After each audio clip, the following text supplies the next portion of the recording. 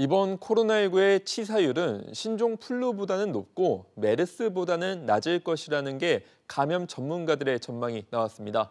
또 지역사회 감염 우려가 높기 때문에 백신 개발에 신속히 나서야 한다는 주장도 제기됐습니다.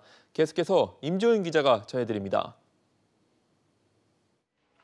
지난 2009년 미국 샌디에고에서 처음 발생해 전 세계로 확산했던 신종 플루.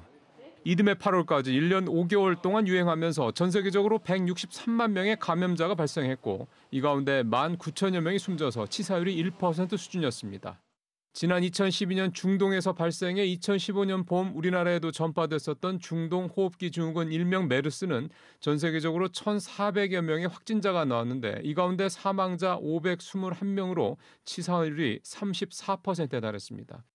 현재 확산 중인 코로나19의 치사율은 신종플루보다는 높고 메르스보다는 낮을 것으로 전망됐습니다. 국내 감염병 전문가들의 모임인 신종 감염병 중앙 임상위원회는 이렇게 전망하면서 특히 고령자와 기저질환자가 유의해야 한다고 당부했습니다. 코로나19가 초기 단계에서 바이러스 배출량이 높은 것으로 추정되기 때문입니다. 중앙 임상위는 이어서 환자들의 증상을 종합한 결과 무증상이거나 비교적 증상이 경미한 환자들이 많아서 코로나19 진단을 받기 전에 지역사회 감염과 확산이 가능할 수 있다고 우려했습니다. 특히 현재 상황을 지역 전파가 유력하다고 평가하면서 행정 방역 체계와 의료 체계를 정비하고 공중기관 자원을 최대한 활용하는 한편 백신과 치료제 개발에 적극 나설 것을 조언했습니다. SBS MBC 임종윤입니다.